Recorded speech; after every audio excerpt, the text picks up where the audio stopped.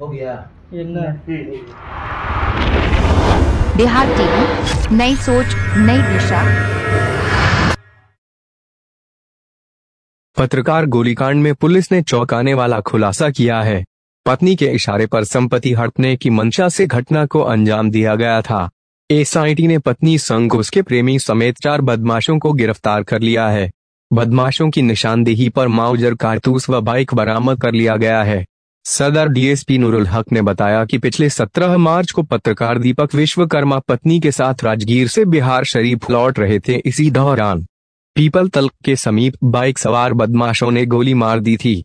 तकनीकी अनुसंधान में पता चला कि उनकी पत्नी रगनी विश्वकर्मा से शादी के बाद भी शशांक नामक युवक से प्रेम प्रसंग चल रहा था। बार बार संपत्ति लिखने का भी दबाव बना रही थी।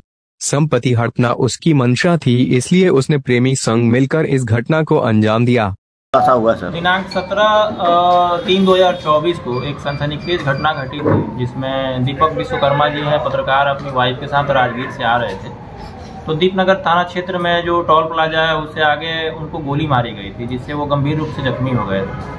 तत्काल उनका बेहतर इलाज हम पटना से कराया गया। जब हम लोग अनुसंधान प्रारंभ किए? उनकी पत्नी के बयान पे ही, पर बयान पे ही हम लोगों ने कांड दर्ज किया था। तो अनुसंधान के क्रम में हम लोगों ने तकनीकी साक्ष्य एकत्रित किए। इसी क्रम में जो है, जख्मी पत्रकार थे, उनका बयान लिया गया। उन्होंने जो अपना प्रथम बयान विस्तृत दिया, उसमें जो पत्नी साथ आ रही थी, उस पर भी उन्होंने आरोप लगाया था और अन्य सभी जो विवाद थे, उसके संबंध में विस्तृत रूप से अपने बयान में बताया है। जो तकनीकी अनुसंधान थे और उनका बयान वो मैच कर रहा था तो घटना का सफल उद्भेदन किया गया और इसमें जो गोली मारने वाले थे, संलिप्त अपराध कर्मी थे, उन सभी को गिरफ़्तार किया गया है। जो गोली मारने वाले, जो दो लोग थे जिन्होंने पल्सर बाइक से इनका पीछा कर गोली मारी थी, उसमें से एक शशांक कुमार है, जो रहीमपुर थाना रोही का रहने वाला है। दूसरा जो एक है समीर, साहिल कुमार, पिता समीर कुमार, वो नानंद सिलाव का रहने वाला है। एक तीसरा आरोपी जो गिरफ़्तार हुआ है, दीपक कुमार, वो इन लोगों को घटना में सहयोग कर रहा था। उसकी भी गिरफ्तारी की गई। घटना के उद्भेदन के बाद उनकी पत्नी ने अपनी पूछताछ में अपनी संलिप्तता स्वीकार की है और इन अपराधियों ने भी संलिप्तता अपनी स्वीकार की है। और उस स्वीकारोक्ति बयान पर हम लोगों ने घटना में प्रयुक्त जो वाहन था और जो हथियार था, उसको भी बरामद किया गया है।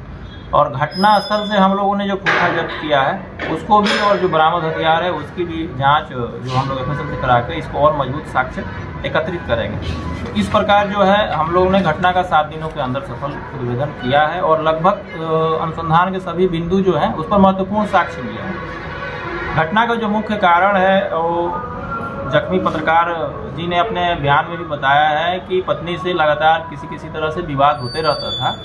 और जो पकड़ाए आरोपी हैं इन लोगों ने भी बताया है तो उसमें जो पति पत्नी के बीच विवाद और इनकी जो पत्नी थी उसमें इसमें जो एक अभियुक्त शशांक है इससे पूर्व से प्रेम प्रसंग चल रहा था। तो मुख्य रूप से अभी जो यही घटना कारण बताया गया है जितने भी तथ्य आए हैं उस पर हम लोग अनुसंधान कर रहे हैं और इस घटना का अभी हम लोगों ने सफल उद्भेदन कर दिया। गिरफ्तारी हुई?